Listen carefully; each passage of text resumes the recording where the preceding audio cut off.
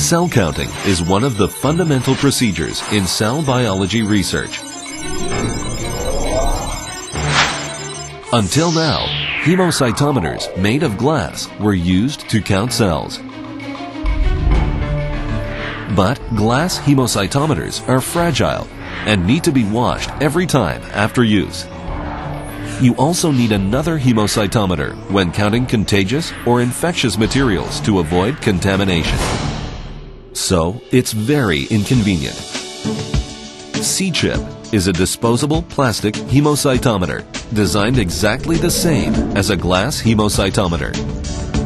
You don't need to wash it after use or worry about contamination of your sample.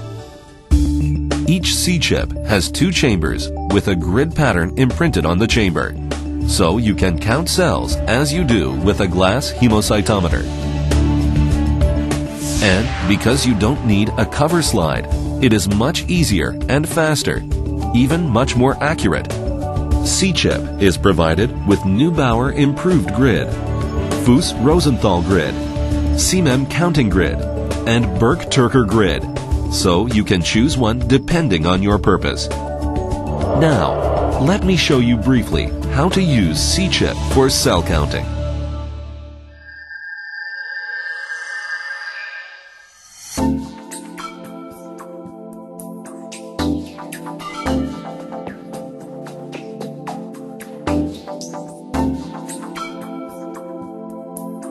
Música